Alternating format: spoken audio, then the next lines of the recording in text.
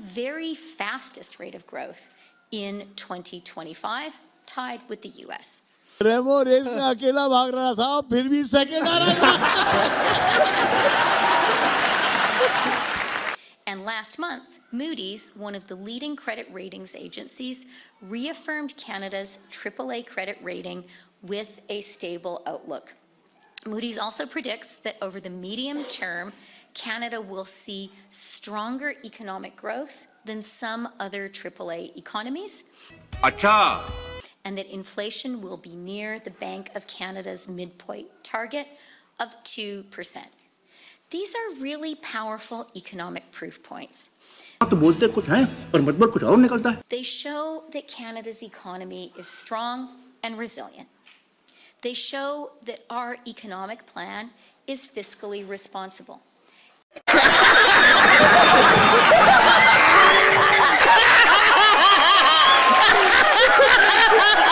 And that really matters because it means that we can afford to make the investments that Canada needs and create the good jobs that Canadians need. It means the federal government can responsibly invest and borrow at lower costs, as can other orders of government and Canadian businesses.